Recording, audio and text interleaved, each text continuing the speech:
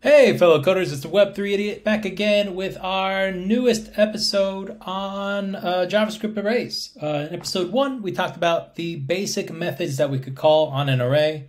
Uh, in episode two, we uh, dove into our first problem.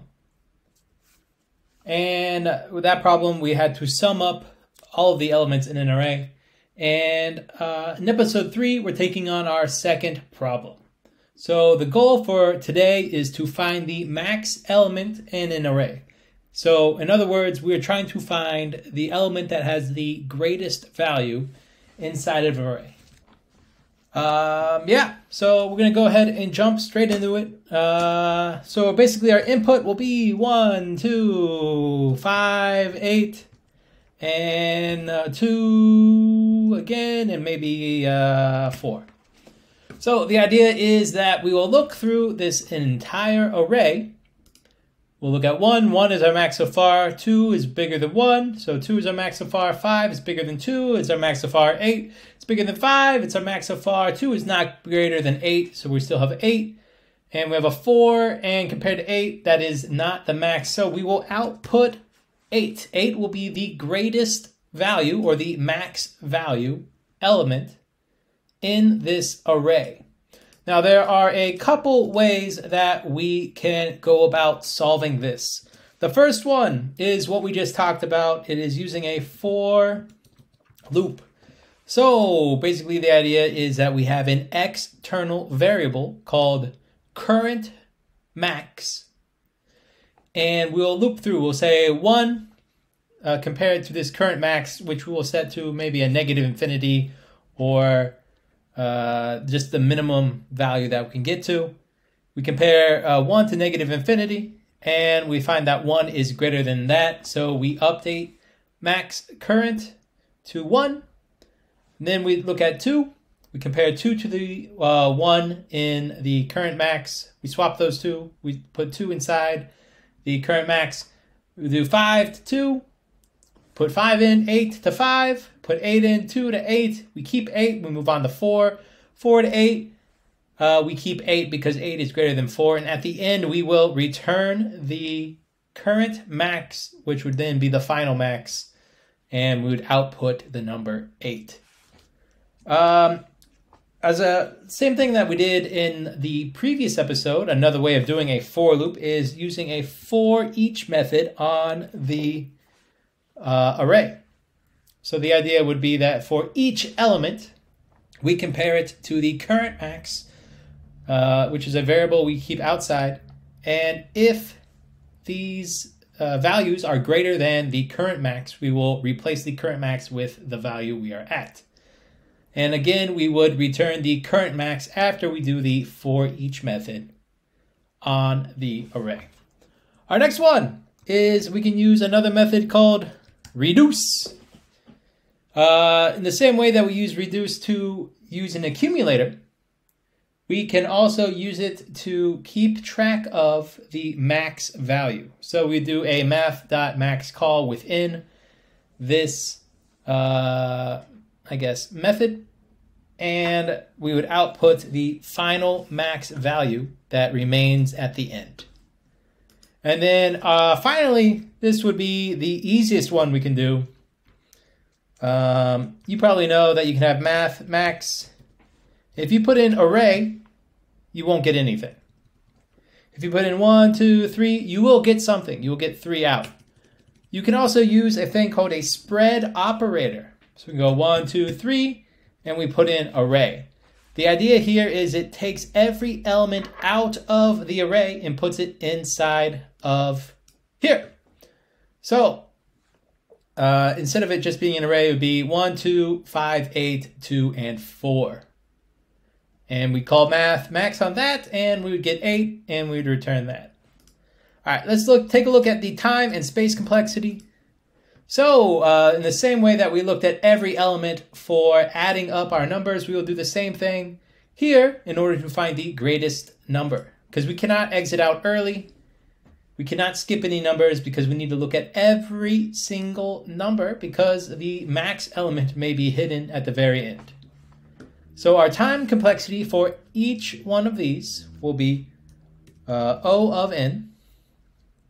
In our space complexity, uh, for the for loop, all we need to do is keep track of the variable index and for the variable of current max, which would be O of 2, which we divide back down to O of 1. So that would be O of 1. Uh, for each is the same thing. Uh, all we're doing is keeping track of the external variable, and that would be O of 1. Reduce. Uh, we don't have an external variable, but the lowest uh, space complexity I can have is O of 1. And for this one here, uh, it also has a time complexity of O of n, but it is different in the case that when we spread out this array, we're making a copy of the array. So in that case, uh, for number four, that'd be O of n, meaning that uh, methods one to three, or approaches one to three, are best if you have uh, a larger array. And number four is very simple to write out, uh, but you should only do so if you have a pretty uh, an array that's quite small or pretty small. Um, let's go ahead and write out these uh, approaches. Uh, so we'll start out with approach number one. So we say function for max, and then we'll pass in an array. So remember, we need to keep track of the current max. We'll say let current max equal, and we want to set it to the lowest number we can come up with. And that is negative infinity. And then the idea here is we use a for loop. So we can say for let i equal zero. i is less than array dot length i plus plus or increments every time we go through this loop. And then here we say current max equals math dot max. And we pass in the current max and we also pass in array at i. So uh, the idea here is that math.max will look at the current max that we have and compare it to array at i, and it will set the current max to the greater of these two numbers. And once we go through all the way to the end, we will return the current max. Um, again, if we look at this, we can change it up quite a bit because we do not need to keep track of our index. Index does not matter to us right now. So we can say constant, we can say number of array. And then in here, instead of array of i, we can say number. Uh, do you need to say number? No, you don't. You don't need to say number. You can say banana. All right, so constant banana of array. We wouldn't call it banana because we want to call it number or we want to be as specific as possible. But I just want to show you that you can just call it whatever you want. And at the end, we will return the current max. So we say console.log. And over here, we will do for max. And inside, we'll pass in 1, 4, 10, 7, 2. And uh, out here, over here, we are expecting to get the number 10. So let's run it. We do get the number 10. Let's change this back to a better name. Constant number of array. Again, we will get 10 as well. So that is a one way of doing it. Our next way is to use a for each approach, which will look pretty much exactly like this, except instead of having this for loop, we'll use a for each method call on the array. So we can say function function and we'll do for each max and we'll pass in an array. Down here we say let current max equal negative infinity. And then down here we'll say array dot for each. And then here we can say number.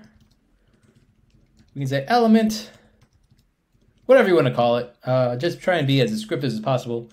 We'll say uh, for each number, pass it this way. Current max equals math dot max. We'll say current max and we'll compare it to the number we are passing in right there. So here, this array dot for each is doing the exact same thing as this for loop. And then down here we will say return current max. And uh, let's go ahead. We'll come down here, console.log. Uh, we will pass in uh, for each max. And inside of here, we'll pass it in an array of 10, 20, 40, 2, and 1. And we are expecting the number 40 over here. So let's go ahead and run it. And we do get the number 40. Ah, very good, very good. Our next one we're going to look at is uh, approach number three, which is the reduce method. So let's come down here. We'll say function, reduce max, and we will pass in array. Very good. Uh, here, we do not need to have an external variable. And we'll just be returning right away the uh, value that our reduce function returns. All right, so basically what we want to do is we say array dot reduce, and inside we'll do our a and b, and there we'll say math dot max, and we'll be comparing a and b that we pass. Uh, that being uh, the current value compared to the current max. And we'll set our initial current max to negative infinity. So this is a, a lot shorter. So just to go over that again, we use the reduce method.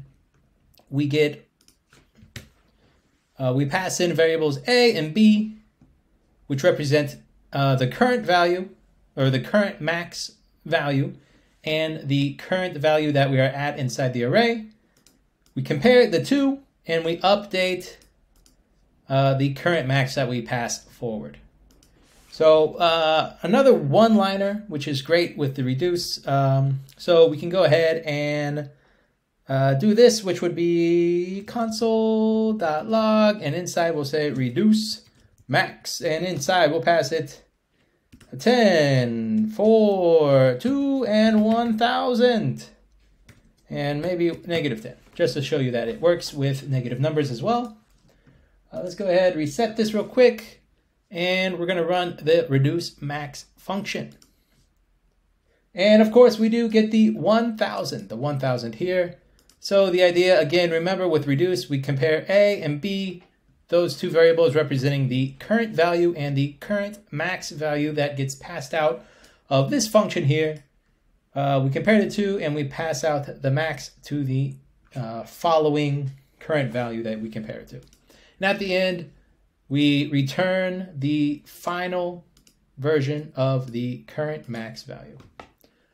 All right, and then our last one here. Uh, so this will be our our worst version of getting the uh, max value of an array because of remember the increase in space complexity because of the spreading of the array. Um, so basically, it says uh, math, max, pass in an array, and it will be similar to line 37. Return math dot max, and we do not just pass in array, we have to spread it out to get all the numbers inside. And basically, we're making a copy of this array and putting it inside of here, spread out. And we can do console dot log. We'll do math max. And we'll pass in the array 50, 20, I mean 50, 20. We'll do 99 and a minus 100, negative 100. And uh, we should return a 99. And let's run it. Over here, we do get our 99. So just to review these real quick, um, we have our for loop, which takes every element out of this array, compares it to the current max that we set to negative infinity, which is the lowest number possible in JavaScript. And uh, at the end of the for loop, we will have the greatest number remaining inside current max. Uh, same thing with 28 to 34, the for each max, we're doing the exact same thing. We're taking each element from uh, the array, comparing it to the current max, returning, uh, setting current max to the greatest number of the current number and the current max, and at the end, a returning current max. Uh, for 36 to 38, this is our reduce function, in which case we are using a similar way of uh, math.max, where we convert, uh, compare the current value to the uh, current max value and return the current max value into the uh, next comparison as we move forward. And our last one here, 40 to 42. Remember, only use this if your array is quite small uh, because it has a very bad, compared to the other three, uh, space complexity. So the idea here is we uh, unravel or spread out the entirety of the array pass all the numbers into math.max, which then uh, looks at every number and returns the largest number. Yeah, so that was a quick rundown of four ways to solve this question of finding the max element or greatest element in an array. Uh, I hope you learned something. I hope you understand the differences between the four approaches. And uh, yeah, if you have any questions, post them below. Uh, I'll get back to you, try and answer your questions as quick as possible. Uh, thank you so much. Have a great day. Bye bye.